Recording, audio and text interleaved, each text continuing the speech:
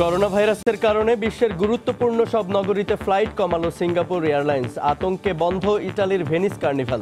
ইরানের সঙ্গে চার দেশের সীমান্ত বন্ধ। করোনা ভাইরাসের কারণে চীনে বন্ধ কাঁকড়া রফতানি লোকসান আর ঋণের বোঝায় দিশেহারা বরগুনার চাষিরা। বিকল্প দেশে রপ্তানির চেষ্টা। কুষ্টিয়ার মোকামে আবারও বেড়েছে চালের দাম। অস্বস্তিতে ভোক্তারা। ধানের দাম বাড়ার অজুহাত মিলারদের। এবং আগামী তিন মাসের মধ্যে বিটিআরসির বাকি এক হাজার টাকা পরিশোধ করতে হবে গ্রামীণফোনকে আপিল বিভাগের নির্দেশ।